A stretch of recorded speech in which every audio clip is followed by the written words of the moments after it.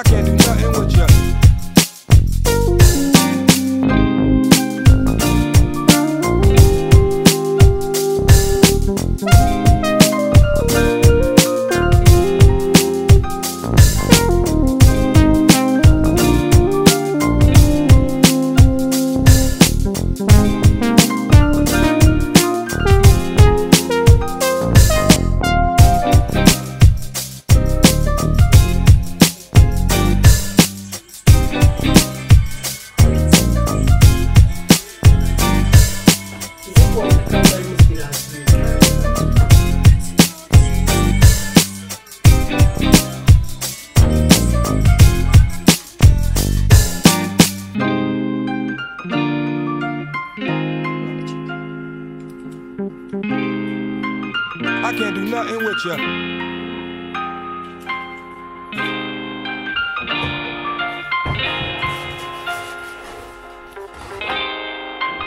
I can't do nothing with ya.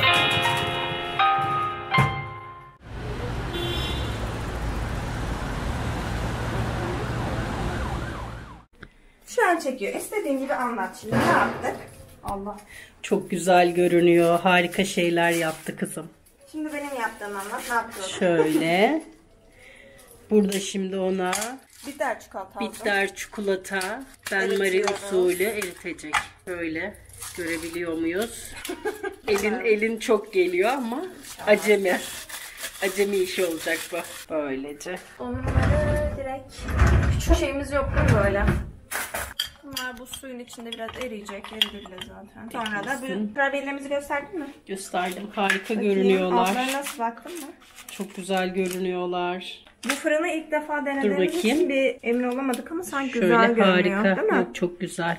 Ve bunlar da değerlendirme kurabiyeleri kalan hamurlardan. Rengi neden böyle? Bence Çok kakaosunu güzel. az koymuşum. Bir tık daha fazla konabilirmiş. Ben daha yoğun istemiştim ama böyle de güzel. Her kamerada güzel görünüyormuş.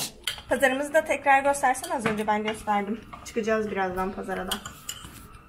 Yavaştan hareketleniyor.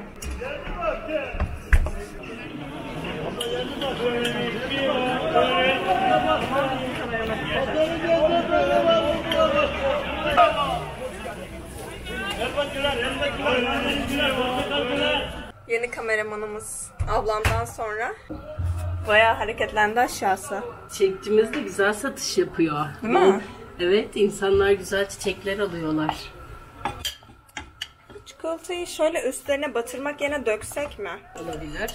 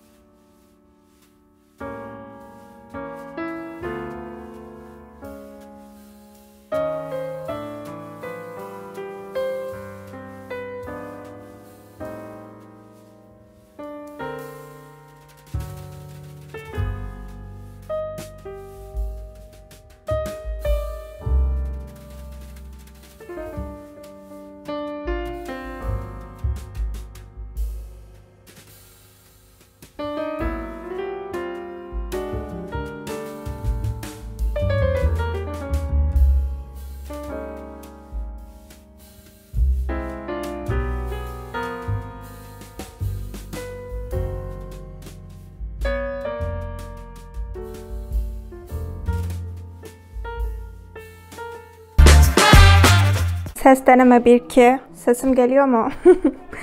İlk defa geliyor gibi görünüyor şu an oynuyor. İlk defa mikrofonumla dışarıya çıkıyorum. Bunun kablosu biraz kısa oldu. Bir dakika dur. Şöyle daha iyi? Daha iyi. Doğum günümde ablam hediye olarak mikrofon aldı. Yakın mikrofonu şöyle. Kalabalık ortamlarda çekim yaparken kameranın ses algısı çok iyi değildi. Çok karışıyordu sesler ne kadar artırıp azaltsam da. Bilmiyorum bir deneyeceğiz bakalım.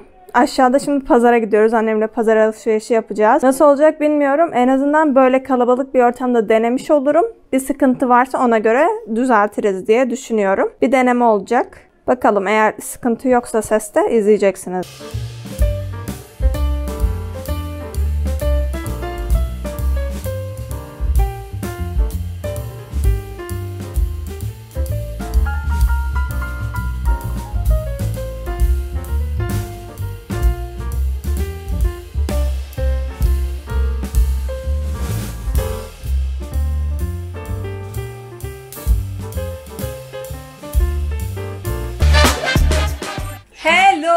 Biz pazardan döndük. Umarım bir önceki saniyelerde izlediğiniz ses güzeldir. Çünkü mikrofonumu ilk defa denedim. Şimdi makarna yapacağız. Çok acıktık ve size şimdi pazardan aldıklarımızı göstereyim. Neden bu kadar yukarıdayım? Boyum uzadı galiba. Ay çok salam. Acıkınca salak oluyorum. Bakın. Şurası, şurası, şurası, şurası ve şurası. Şöyle toplu göstereyim. Hepsi pazar ürünleri. Bir de çiçek aldık. Dur çiçeğimi de göstereyim. Bu da yeni çiçeğimiz. Bunu yeni geldiğimizde almıştık. Bu da ikinci çiçeğimiz. Bu da pazarımız. Yavaş yavaş kaldırıyorlar çünkü yağmur yağmaya başladı. Şimdi yavaştan buraları toparlayacağız. Bunları yerleştirelim. Çok fazla yeşillik aldık. Onları böyle yıkayıp e, bezlere sarıp mı kaldırsak öyle daha iyi olur sanki. Meyveleri, sebzeleri bir yerlerine yerleştirelim makarna olurken. Sonra da yemek yeriz. Ben sizi sabitleyeyim yine bir yerlere. Allah. Daha burada sabitleyeceğim yerleri çok net ayarlayamadım ama ayarlayacağım bir gün inşallah. Şöyle koyayım ya. Şurada iyisiniz. Bence bu yeşilliklerin hepsini şöyle bir çıkartayım. Zaten poşette koyarsak çürür. Bunların hepsi yeşillik.